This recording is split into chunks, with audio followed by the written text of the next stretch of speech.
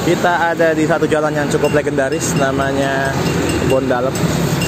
Sepanjang jalan ini adalah tukang permak. Pusat Kebon Dalam ini tadinya pusat perbelanjaan memang. Dan memang di kiri kanan bisa dilihat ya. Tukang jualan. Banyak tukang permak levis juga. Brasil ini paling legend. S-nya karena emang ini adalah pusat perbelanjaan jadi masih klasik wilayahnya. Optik gitu. Rita yang terkenal. Awan menggantung cukup mendung. Yang terkenal banget nih dari zaman dulu nih sebagai tempat yang cukup ramai. Karena ada perbelanjaan di sini banyak.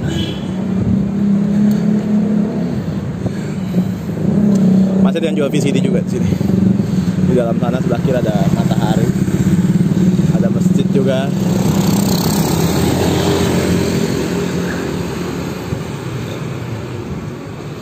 Suka-suka. Oke. Toko bangunan chops bakul cat lengkap banyak macam-macam. Jual apa aja ada di sini.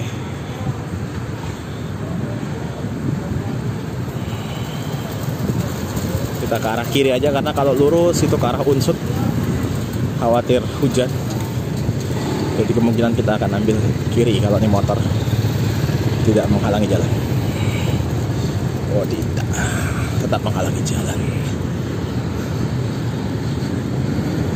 Simpang kebon dalam. Wah ini kebon dalam coffee and a tree. Asik juga ya. Hai, lampunya hijau. Danisa asik. Ada semua di sini Anang dan Asanti sepi tapi nasibnya seperti toko-toko artis lain. Yang mendadak ramai saat buka dan mendadak sepi saat ada artis lain yang buka warung model sama. Simpang kejaksaan ini juga namanya jalan Jenderal Gatot Subroto. Jalan yang banyak gedung-gedung pemerintahan tadi kita lihat dari kejaksaan. Ini adalah dinas perikanan dan peternakan ada SMA negeri kantor pajak kantor PLN perpusda juga ada. Perpustakaan daerah di sini.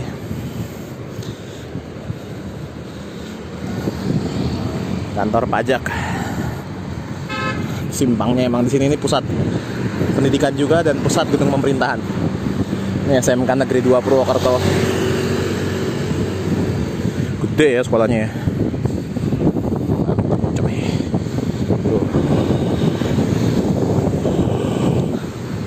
ini juga kantor-kantor pemerintahan. Dinas pekerjaan. Ini pokoknya di sini ngumpul semua. Ini buat pengurusan SIM Satpas. Polresta Banyumas tapi bukan Polresnya ini adalah kantor istri saya Poliklinik Bayangkara. Tutup. Kerjanya di sini tiap hari. Tanggung jawab klinik malum harus masuk tiap hari ini kantor Bank Indonesia juga ada di sini. BI gedungnya masih autentik. Kantor Bapak Will ini adalah tugu yang cukup fenomenal.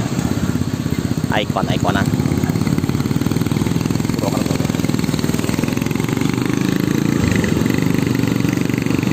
masih terus melanjutkan ini adalah sekolah yang cukup favorit SMA Negeri 1 Purwokerto. Tadi kita lihat BRT ini adalah trans jatengnya